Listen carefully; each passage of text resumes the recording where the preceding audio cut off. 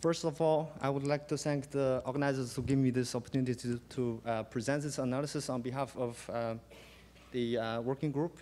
Um,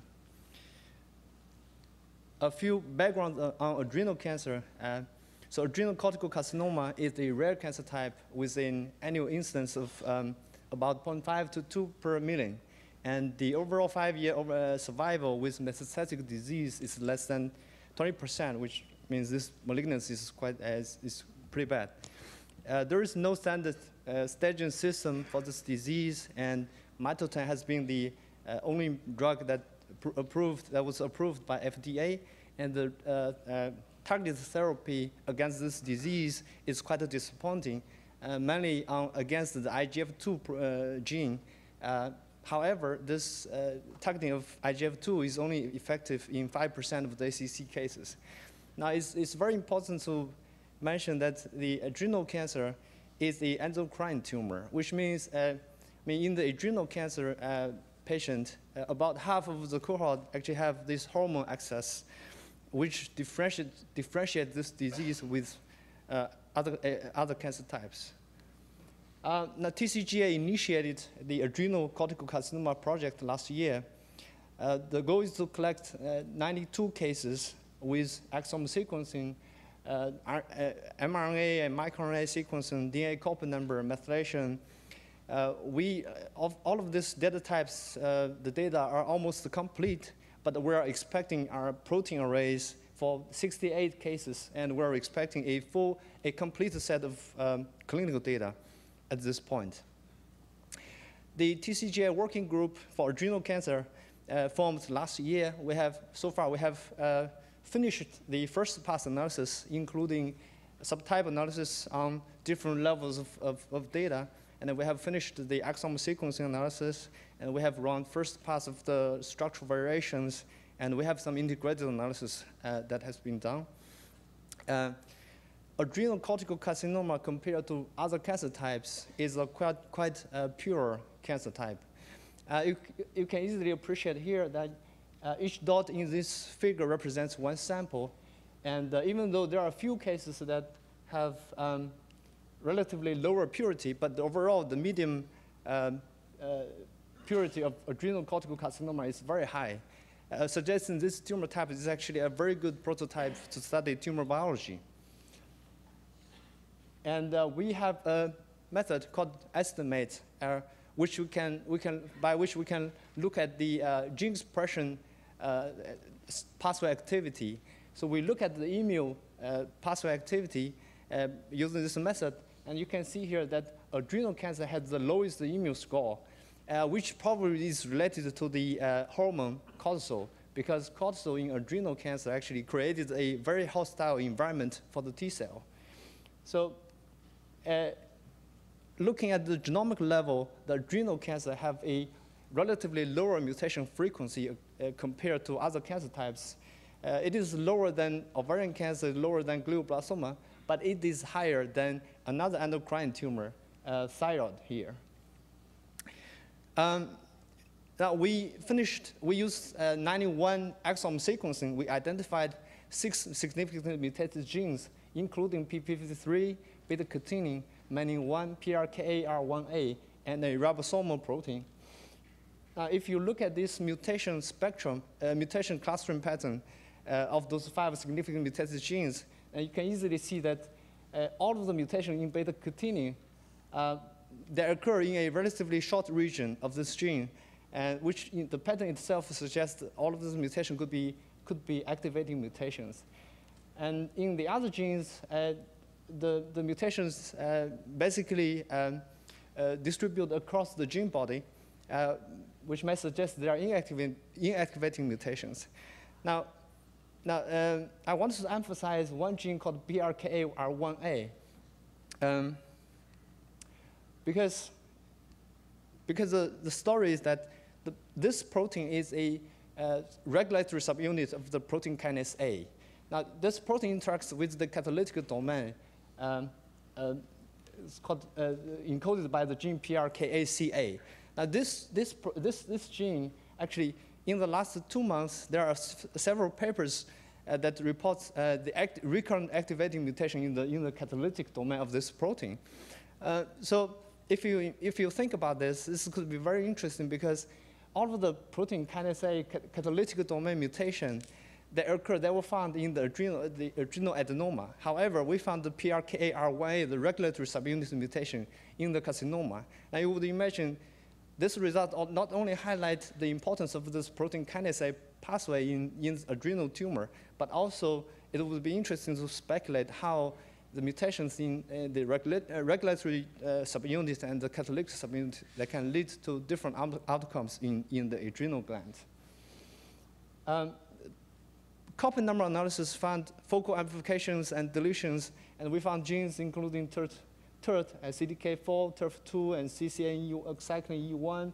We found uh, a, a link RNA on chromosome 4, we found P16 deletions, RB1, and ZNRF3 gene.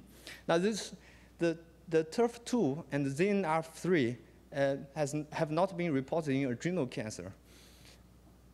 So you, from IGV, you can easily appreciate this focal amplification of TERF2 and focal deletion of ZNRF, uh, RF3.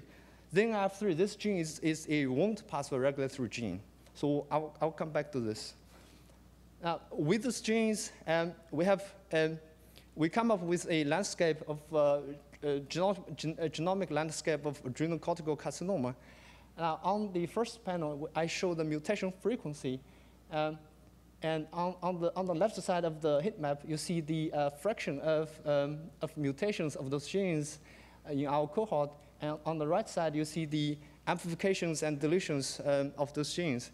Now you can see that uh, the, the majority of the ZNRF3 alteration uh, they're due to the deletion. Now, for the for PP3, most of the alterations is the, um, the, the um, is mutation. TERT is, is amplification, and beta catenin is, is mutation. So, however, I think a very interesting observation is that uh, so this genomic landscape clearly separates the adrenal dataset into two cohorts. One cohort with at least one uh, putative driver genes. Now, with another cohort, about 30% of the cohort that does not have single one's putative driver, uh, driver gene alteration. Now, this results actually uh, confirmed the finding by our uh, European collaborators. Uh, they published a new paper in uh, Nature Genetics, and in their cohort, they also observed a subset of adrenal cortical carcinoma cases without a, a putative driver mutations. Um, with uh, unsupervised methylation clustering, we found, uh, we found three groups with um, a intermediate, lower level, uh, low level, intermediate level, and high level uh, methylations. We call them normal-like, uh, CIMP, and hyper uh, group.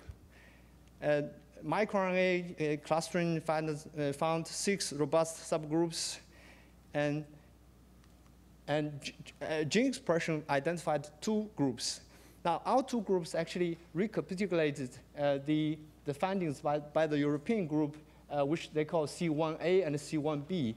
Now, the C1A group um, has a, a, a, bad outcome, and the C1B has a slightly better outcome. Uh, so by overlaying these subtypes with the genomic landscape, you uh, we found a remarkable enrichment of, of these different subtypes uh, with, uh, with the, this, uh, this group. For example, the group without uh, putative driver mutations, they are mostly C1b group, and they have a, a normal-like methylation pattern. We, um, we also looked at structural variations, gene fusions in this context, and we did not find a recurrent fusion transcripts. However, we found uh, recurrent partner genes, and we found uh, sporadic um, cancer genes uh, involving the, in this fusion. For example, we found a mTOR uh, gene fusion. Uh, so each box here represents one exon. Now you can see that uh, you can see a clear activation of, of this um, exon expression beyond this, beyond this fusion sites. Uh, now, very interestingly, this mTOR fusion uh, actually retains the, uh, the catalytic domain of the mTOR protein. Now, we, this is, could be very important because we know we have uh, mTOR inhibitor. And there is another case of the fusion uh, that involves the gene called BRE. Now, BRE gene has been reported in uh, tumor, uh, adrenal tumor genesis, and it was uh, implicated as a, as a driver gene. Um, so, so we could, it, so this finding suggests this, this fusion might be a, a, a relevant, functional re- relevant, relevant uh, fusion events in adrenal cortical carcinoma. At the pathway level, we found the uh, Wnt pathway to be the most frequently altered pathway, with more than 45% of the, of the patients in our cohort have at least one gene altered in the, in the Wnt pathway. But most of the alterations uh, were contributed by uh, ZNRF3 uh, homozygous deletion and the beta-catenin activating mutation. So with this, I would like to summarize uh, what we have, what, what we have for the, for the adrenal cortical carcinoma.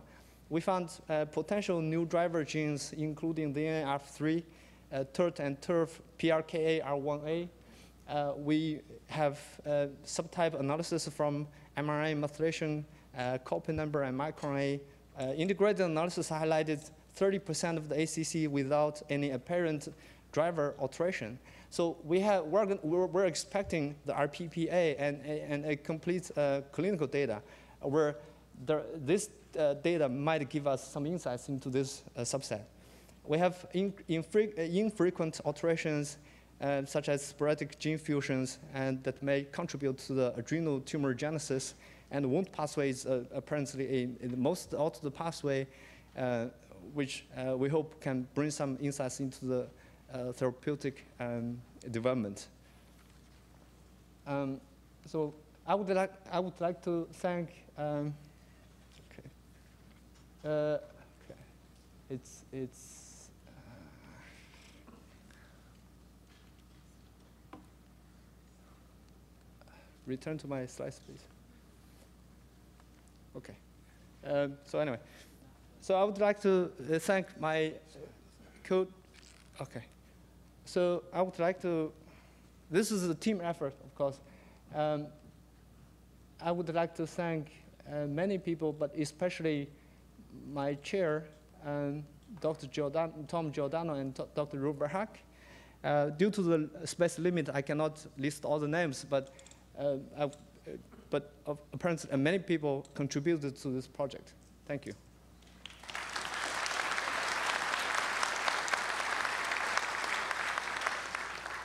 Any questions? Okay, no more questions. Okay, so let us thank uh, all the No, no, fantastic. no, no. Oh, oh, okay. So, uh, before you uh, go on, so I'm really curious about this driver negative subset. And, um, you know, as I understand it, these are also tumors with very high purity, as understood by copy number analysis. And I just want to ask, how are you, uh, what are your thoughts as to, you know, how to pursue the driver negative subset and um, specifically, um, in terms of, of things like fusion analysis or whole genome sequencing analysis? So right now we are not going to have whole genome. Um, now we have two, two things we're thinking to, to approach this subset. Uh, one is we're going to look at this uh, driver genes, and that means the, the, the known driver genes. We think they're probably just infrequent, and due to our sample size, that we cannot find recurrent alterations in those uh, genes. So we're going to, to look at that, and potentially that can uh, have some percentage of, of cases with, with, uh, with a driver. Now, another thing is we should, we will look at the germline data. And now we want to see if, if we can find uh, like 10 to 15% cases with a germline mutation. Um, can I just follow up on that, Matthew? Um, so, what doesn't come through in this is that those, those tumors are um, what we call low-grade adrenal cancers. They, most of them do have uh, IGF alterations, though, so they have sky-high IGF-2 expression. But that is the fascinating part of, of this project, and so we really want to focus in on, on those tumors. Um, but uh, so I just want to make that comment that, that, that the, it's really re- recapitulating the, the classification that we do, you know, histo- histopathologically. Thank you, Tom. Great. So, so I think the easiest way to talk about this, there's no mutation, uh, no driver mutation. You should say there's some driver pathway involved. That may be easier to understand because if, if there's no mutation, but there's something driving it. Yeah, yeah, absolutely. Yeah.